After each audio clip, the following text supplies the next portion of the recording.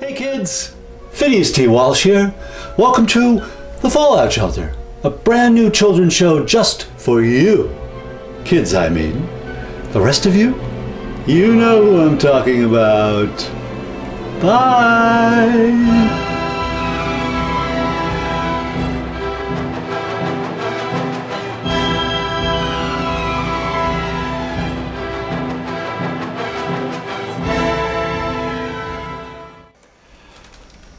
Previously on the Fallout Shelter, we learned some of the reasons we have seasons. We learned about the December and June solstices. We learned about the March and September equinoxes.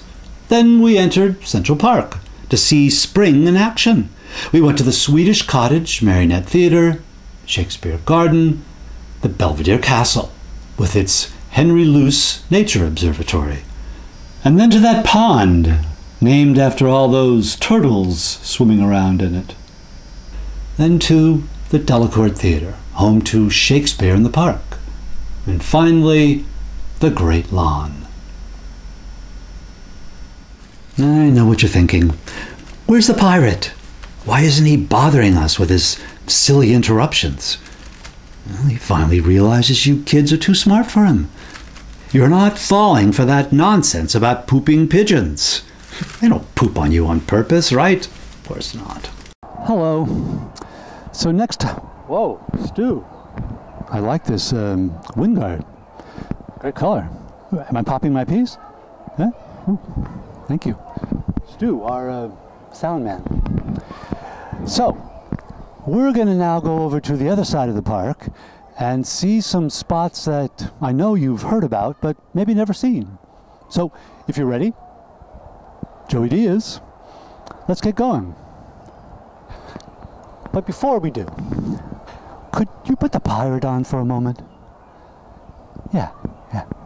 Really, Stu, this is nice. Thank you. Yo ho ho. Pirate. I just wanted to tell you that um, that took some real self-control.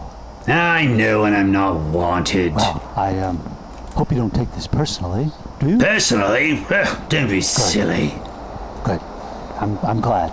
Yeah, yeah. I appreciate it, Pirate. I really do. But I'm just trying to be helpful, Okay, everyone. Phineas. So we will see you um, on the other side of the park. See you later. Bye. Psst. Hey, kids. Pigeons may not poop on you on purpose, but they know you're down there, so don't be fooled.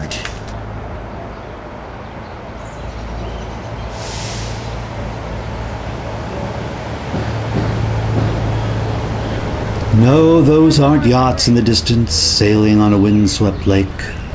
We've arrived at Conservatory Water, the setting for a famous yacht race between two model sailboats. One called the Wasp, its captain a brave little mouse named Stuart, and the other the Lillian B. Womrath. Who won the race? Well, if you don't know, you'll have to read Stuart Little to find out. I'll never tell. Conservatory Water got its name from a large glass house, otherwise known as a conservatory, which had been planned for the site but not built. This reflecting pool took its place and its name. Although, you ask anyone, and they'll tell you, Conservatory Water? That's the Stuart Little Pond.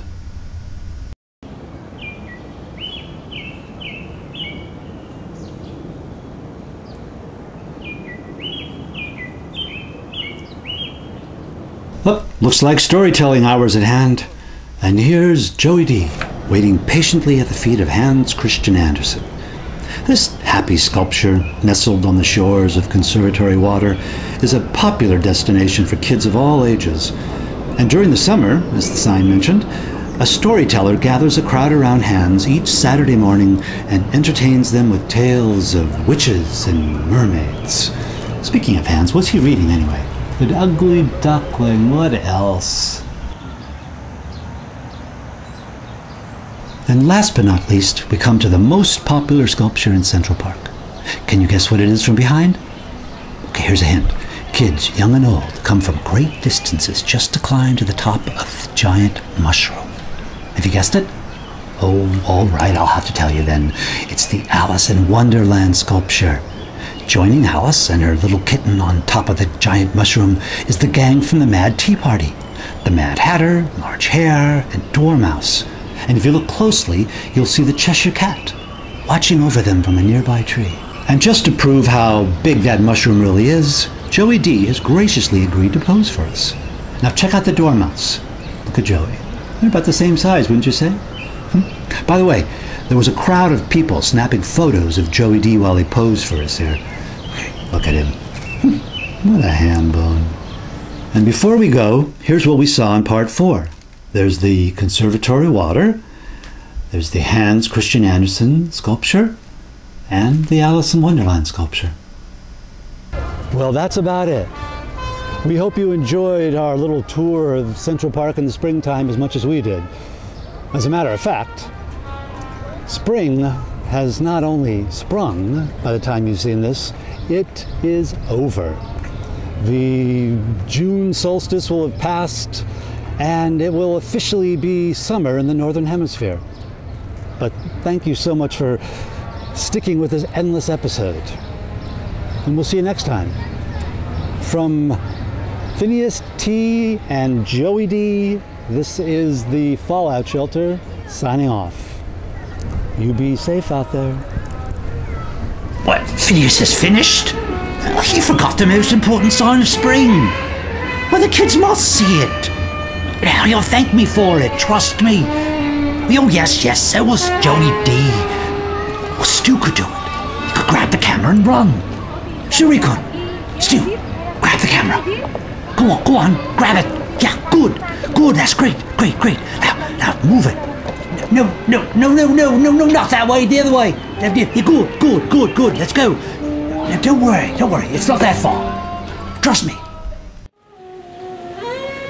Ah, Bethesda Terrace, the crown jewel of the Central Park. The terrace was designed by our old friend Calvert Vaux, with the assistance of Jacob Wrey Mould, who designed these elaborate stone carvings of birds and fruit and flowers, as well as whimsical motifs of the four seasons. As matter of fact, here's Jacob Wrey Mould with one of his four seasons. And lucky for us, it's spring, the very subject of this episode. Notice, if you will, a delicate bird's nest with a mother bird sitting upon her precious eggs. Notice also the baby chick emerging from the egg right there closest to the. Excuse me, what's going on here? Oh, shush! I turned around, you guys were gone. My, The egg is hatching! what egg? The, the most important sign of spring! An egg hatching! A chick emerging fresh into the world! A mother lavishing her baby with love, feeding it, ah. watching it grow! Wow, pirate, I, I'm, I'm speechless. Yeah, well, spring is a time of growth and, and No, renewal, you're right. You're right. I, of life being born. wrapped up in my scientific facts, I forgot that the most important sign of spring is life, the birth of new life. Well, you got that right, Finny, me boy. You're right. You're right. I, I you saved the day. Thank you. I say? I was wrong about you. you.